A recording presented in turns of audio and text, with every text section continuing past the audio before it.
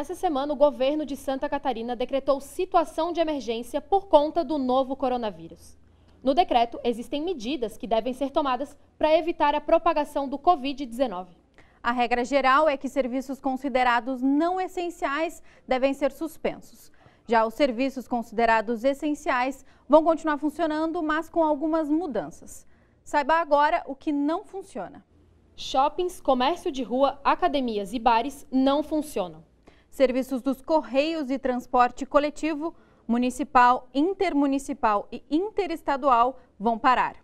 Agências bancárias, lotéricas e oficinas mecânicas fecham. Os restaurantes também não podem abrir ao público. As aulas na rede municipal, estadual e privada estão suspensas. Em hotéis, as pessoas que já estão hospedadas podem ficar até a data prevista, mas a entrada de novos hóspedes está proibida.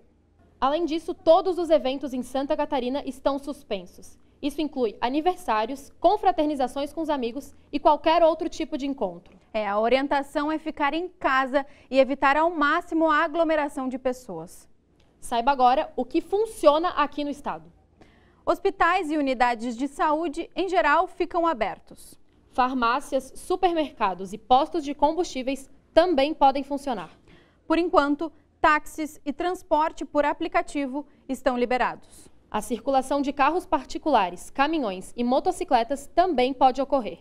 A coleta de lixo e a distribuição de água e gás seguem em funcionamento. As indústrias podem continuar operando, mas com a capacidade mínima necessária. E se bater aquela fome, saiba que o delivery de alimentos e de restaurantes pode funcionar. As orientações do decreto já devem ser cumpridas e possuem validade de 7, 15 ou 30 dias, dependendo do serviço. E se você vir uma dessas regras sendo descumpridas, pode ligar para o 181 ou também para o 190. Acesse a cobertura completa no nsctotal.com.br barra coronavírus.